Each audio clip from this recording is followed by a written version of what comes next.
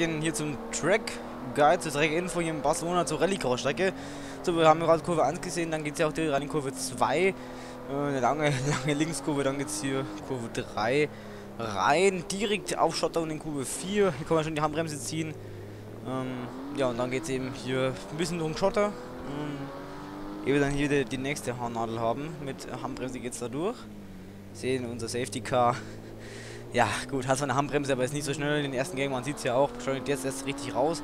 Dann hier geht's weiter. Ähm, ja, kann man eigentlich alles recht schön fahren.